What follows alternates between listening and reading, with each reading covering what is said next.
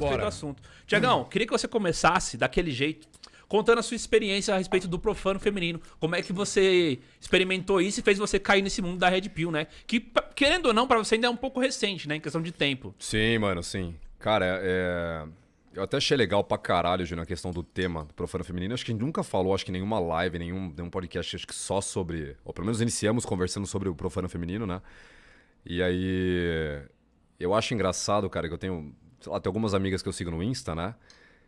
Que adoram postar. Umas feministazinhas aí que adoram postar sobre o sagrado feminino, né? Então a gente sabe que toda mulher, tanto, tanto uma mulher como um homem, tem um lado sagrado um lado profano, né? E assim, cara, uma coisa que eu percebi, Júnior, é o seguinte. Eu diria assim, o profano feminino hoje, cara, que é o lado. O lado profano, o lado maldoso, o lado articuloso da mulher, o lado manipulador, né? Ele tá muito em alta hoje de forma muito natural. Né? Então, o que, que eu quero dizer com isso que o pessoal não percebe, né? Comportamentos ruins da mulherada hoje é taxado ou visto como se fosse alguma coisa muito normal. Como se fosse uma coisa, tipo, de boa. Não tem problema você trair seu namorado, não tem problema você marcar um encontro e sair fora, falar que tá doente, entendeu? Não assumir responsabilidade por porra nenhuma que você faz com mulher, né? E assim, é engraçado porque por mais que a gente esteja com o Manual Red Pill há quase dois anos, né?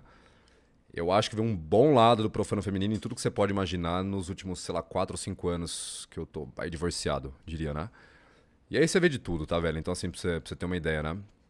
Você vê que. Cara, você vê mulher que mente pra caralho, você vê mulher narcisista pra caralho, você vê mulher que busca validação mesmo estando namorando, né? E eu acho que a grande diferença é o seguinte, tá, Julião? Acho que tem muitos caras que literalmente não prestam atenção nisso, fazem de conta que não estão vendo, ou realmente acho que não conseguem notar isso. Eu sempre fui um cara muito observador, velho. Acho que assim, todo homem tem que bater o olho e tentar falar assim, cara, tem alguma fita estranha com essa mina aqui, entendeu? Então você tem que começar a observar e cada mulher que você sai ou que você saiu, você tem que traçar algum padrão de comportamento bom e ruim dela, né?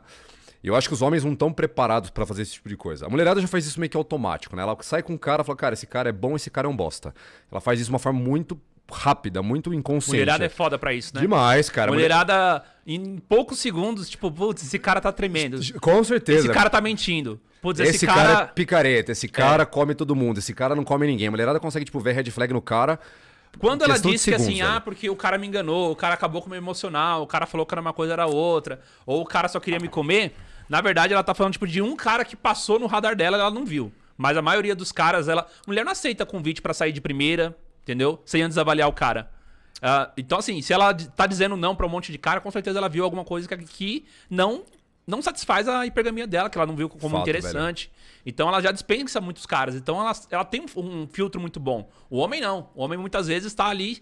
Se a menina, tipo, fala assim: ah, vou ver. Sexta-feira você me lembra? O cara lembra na quinta. Pra a menina já Ex- saber não, que sexta-feira ela vai ter que sair com ele. Total, velho, total. Né? Então, assim, eu, eu acho muito bom, né, Juliano, assim, uma coisa que acho que, não sei se você também tem visto isso, né? Que eu percebi, eu acho que ao longo desse ano, ao longo do ano passado também, mas ao longo desse ano, né? Eu vejo que os homens estão ficando mais espertos pra atitudes e, cara, comportamentos ruins da mulherada no geral. São todos, cara. Não consigo nem falar se seriam, tipo, 5, não sei se chega a 10%, talvez, sei lá, de 1 a 5% no máximo, eu acho que os caras consumem, consomem algum tipo de conteúdo Reddit que vão é, talvez despertar pra valer. Tipo, de uma forma natural, velho. De uma forma automática. Verdade. Consegue, tipo, perceber de verdade, né? Mas já é uma melhora, velho. Porque a maioria dos caras ainda con- meu, continuam tomando no rabo com mulher, velho. Por conta do profano feminino, cara, que são atitudes que a mulherada tem. Algumas fazem isso na malandragem, outras fazem isso sem perceber, mas fazem, velho. Vão afetar a vida do homem de alguma forma, entendeu? É isso mesmo. Ó, pr- pra quem tá perdido no assunto, não tá entendendo o que a gente tá falando sobre profano feminino, o que é o profano feminino? Vamos lá, uma definição. Profano feminino. Quando a mulher sabe que através da sua beleza, através da sua palavra, ou seja, o que ela fala, ou justamente por causa do seu aspecto físico e principalmente também por causa da questão emocional, por exemplo, a mulher pode te elogiar, a mulher pode tentar fazer com que você pense algo, por exemplo, que você tem chance com ela pra te manipular, pra te usar como um instrumento. Então ela quer fazer de você o Uber dela, o fotógrafo dela, né? Quer achar que você, tipo, não, é meu melhor amigo, né? Inclusive tá Boa, tendo uma, uma onda aí de melhores amigos, né? As mulheres estão fazendo essa trend aí. Tem uma menina que ela é vendedora de um shopping. Conta essa aí que eu tô por fora, mano. É Mano, sério? Isso é foda, isso então é foda. me manda aí que eu tô por fora disso aí. Julião. E aí ela faz umas dancinhas e tal, e aí uma uma vez ela fez um vídeo dizendo que ela virou melhor, é, melhor amiga do segurança, que é um moleque novinho, tal, segurança e Tá. tal. E aí, o que, que esse cara faz? Esse cara dá chocolate pra ela, esse cara carrega ela no colo. Faz os vídeos assim, entendeu? Nós somos melhores amigos, gente. Olha só como que ele me trata e tal. Aí, e aí chega. Ela tá com um TPM lá o cara toma aqui um chocolate pra você. É isso, entendeu? Ou seja, a menina tá ganhando engajamento, tá ganhando like, a menina tá ficando famosa por causa de um cara que é só o melhor amigo dela. Justamente por quê? Porque você acha que esse, você acha que esse cara ele não tá afim dela? Você acha que ele, se fosse só amizade, ele estaria fazendo tudo isso? Nem fodendo, velho. Nem fodendo. Eu acho que assim, ó, to- todo cara que automaticamente se coloca na friendzone, né? E por que, que eu falo que o cara se coloca? Porque o cara, ou ele se coloca como amigo, com a intenção de pegar, ou ele já se coloca como um cara que quer pegar a mulher. Ponto final, entendeu? Então eu falo pros caras que essa, essa postura que o cara já exibe desde o começo define se a mulher vai ver ele como um potencial, cara, um, um cara pra ela estar junto, ou um cara que ela vai explorar a nível de amizade, entendeu? E é o que você falou, esse cara tá só tendo o pior de todos os cenários. Que ele tá sendo feito de trouxa e não tá tendo tipo, nenhum tipo de contrapartida sexual da parte dela. Né? Ou seja, é o pior cenário que todo e qualquer homem pode estar. né? E eu acho que é bem por aí mesmo. Tipo, se o cara ele já se posiciona, ó, eu tô afim de você, vai rolar alguma coisa. Se não rolar também, o cara tem que sair fora, né? Por isso que eu acho que também a amizade entre homem e mulher é uma coisa muito, muito complicada. Porque assim, beleza, se o cara ele tá ali naquele meio termo, no limbo, a menina tá recebendo atenção, tá recebendo carinho, o cara tá Total, né? agradando de algum jeito. Porque se ele agradar na cabeça dele, ele vai conseguir pegar. Então ele tá agradando. Alguma coisa ela tá recebendo ali. Só que o cara não tá recebendo nada. Totalmente, velho. O- No final da noite, a menina dá tchau e beleza. Ou meu namorado chegou e tal, vou embora. Cara, é até legal porque assim, a gente começa a conversar, velho, e aí eu começo a lembrar tipo, de histórias reais que eu sempre trago pro pessoal. Manda, e, manda e, aí. É, e aí eu já lembrei de uma agora aqui, cara. Tinha uma menina que eu saía, Júnior, e assim, le- legal assim, tipo, não sei lá que nota eu poderia dar pra ela, mas assim, uma menina bacana, né? Sei lá, a gente ficou acho que uns seis meses sem sair, né? Um belo dia ela me mandou uma mensagem duas horas da manhã. Falei, caralho, velho, sábado, duas horas da manhã, faz muito tempo que eu não vejo ela, vou chamar ela aqui de Vitória, só pra trocar o nome, né? E, e eu não vi a porra da mensagem. No outro dia eu fui lá e mandei mensagem pra ela. Falei, viu, tem uma ligação perdida sua aqui, duas horas da manhã, aconteceu alguma coisa? Ela falou assim: Ah, não, Thiago, é, meu carro quebrou, eu queria ver se. Não, meu carro acabou a bateria, eu queria ver se você tinha.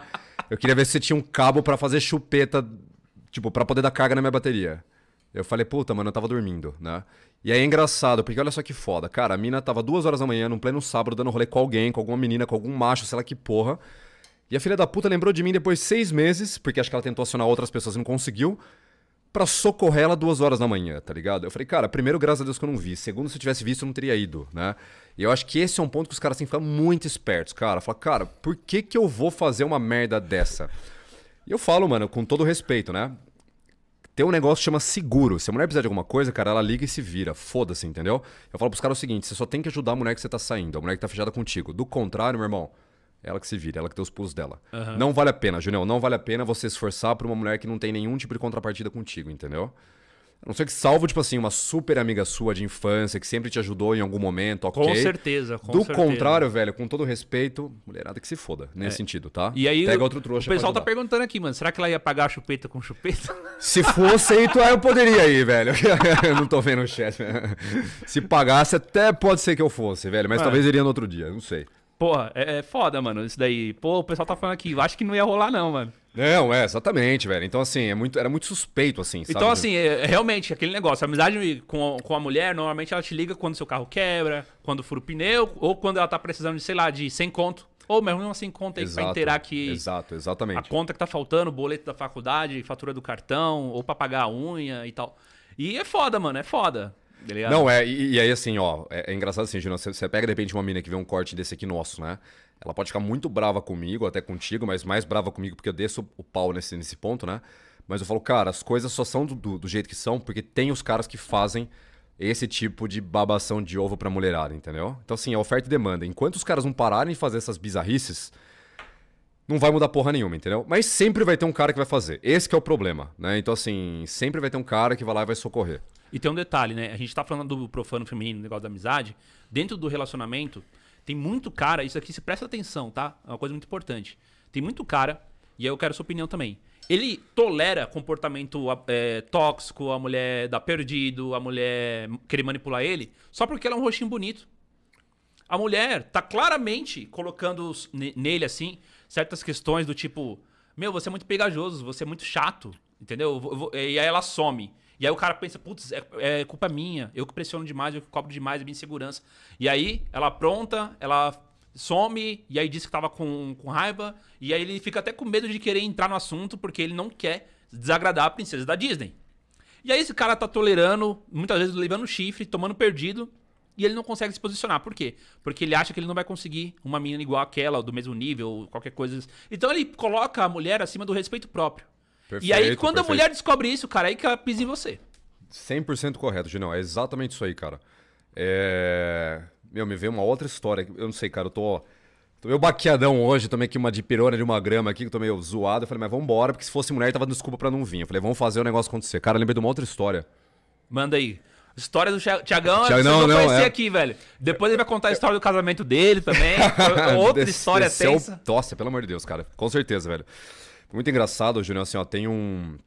Entendi, cara. Isso eu acho que tem um mês e meio, acho que um mês, um mês e meio. Dei mentoria pra um cara que tá passando por uma situação e tal de... Tava meio em dúvida se largava do casamento ou não, né?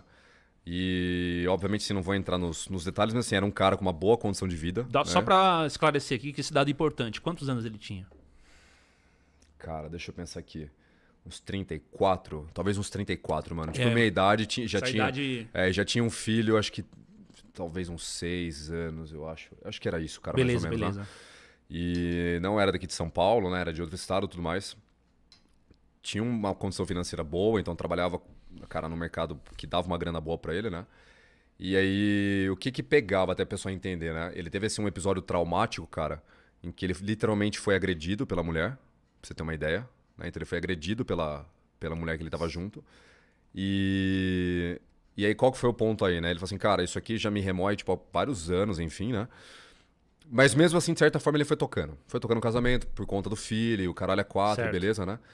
E aí, assim, em um determinado momento, assim, não teve mais um episódio, nunca mais teve um episódio de agressão. Ela agrediu o cara por conta de uns ciúmes que ela tinha dele, sem motivo. Então, só pra você ver, assim, o pessoal entender a escalada que vai indo, né? Ele acabou sofrendo uma agressão, uma agressão não, revi- acabou não, não, não revidando, né? E não teve mais, tá? O que que, o que que passou a acontecer depois aí, né? Ela descobriu que, que ela conseguia des- desestabilizar o cara emocionalmente quando, de alguma forma, ela falava mal dos pais do cara.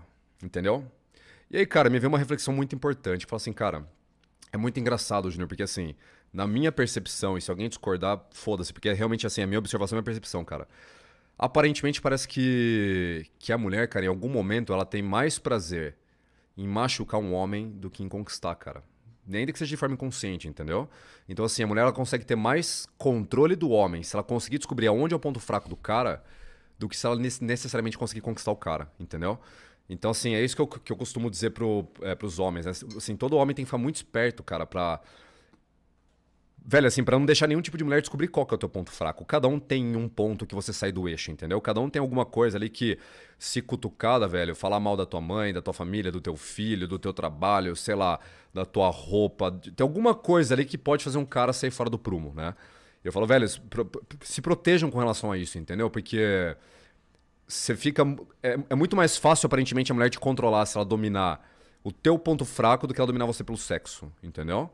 Então esse é um ponto importante, cara. Né? E eu também já passei por relacionamentos que, cara, toda vez que alguma mulher conseguia roubar minha atenção, me tirando do sério, ela conseguia ter minha atenção a ponto de poder eu trocar uma ideia com ela e conversar com ela, nem que se fosse pra discutir.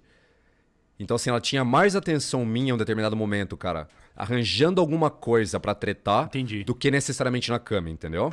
Então, mais ou menos assim, cara, transando com o Thiago eu tenho meia hora do tempo dele. Tretando com o Thiago, ele fica duas, três horas discutindo comigo, sacou? Então, esse que é um ponto importante, cara. A mulher não quer saber que tipo de atenção que ela precisa, se é boa ou se é ruim. Ela tendo a atenção do cara, ela descobrindo como arranjar a atenção do cara, ela vai dar um jeito de ter essa atenção dela, entendeu? Melhor ainda se ela não precisar transar, né? Ex- exatamente, Porque exatamente. aí ela vai, ela vai entender que ela tá te dominando de duas formas. Exatamente, velho. Ela, ela não precisa transar contigo, ela consegue te tirar do eixo e te dominar, cara, de repente com a manipulação, com uma história, com ciúmes, com qualquer merda que tire você do eixo, entendeu? Então esse é um ponto importante pra trazer pro pessoal também, cara. Tomar cuidado em abrir muita informação pra mulherada. Seu dia pode ter sido uma bosta, velho. Chega e fala assim, cara, foi maravilhoso o meu dia, entendeu? Porque aí a mulher começa a cavar, cara, naturalmente. Mas o que aconteceu? Pô, aconteceu aquilo, furou meu pneu. Pô, o cara tá chateado porque furou o pneu, entendeu? Então, assim, ela começa a traçar um padrão de comportamento teu que você pode dar uma escondida, tá? Então os caras têm que ficar esperto com isso aí, velho. É isso Tá. mesmo.